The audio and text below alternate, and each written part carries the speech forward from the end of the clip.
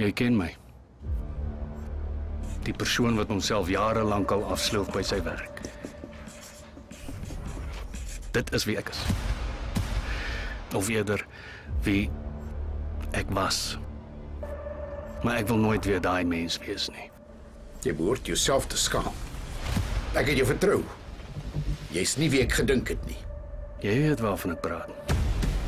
Jy werk ook hard om vir jou familie te voorsien. En geld kan dit alles vir jou bied. Hoe vreesaanjaend om te dink dit kan als weer binne sekondes verdwyn. Ja. Ek weet jy's kwaad.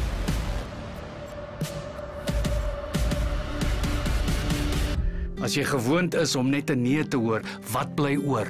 Duisternis. Pappa, Die lewe is onregverdig. Die wêreld is 'n harde plek.